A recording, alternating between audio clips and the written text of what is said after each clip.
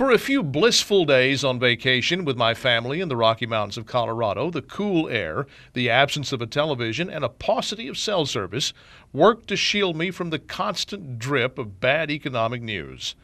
Ah, but of course it couldn't last, and back to work I have come to resume taking my daily dose of dreary economic data. This was all so predictable. Upon taking office in the wake of the housing meltdown of 2008, the Obama administration went all in Keynesian, pouring more than a trillion dollars worth of yours and my money into stimulus and bailouts.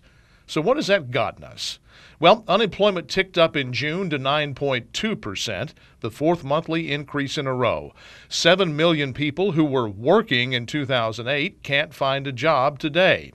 In addition, as I have just learned, one of every four in the college class of 2010 still haven't found a first job.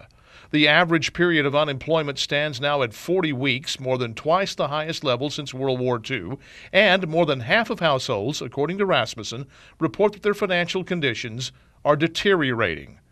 But take heart nevertheless. Keynesian liberalism has again been debunked.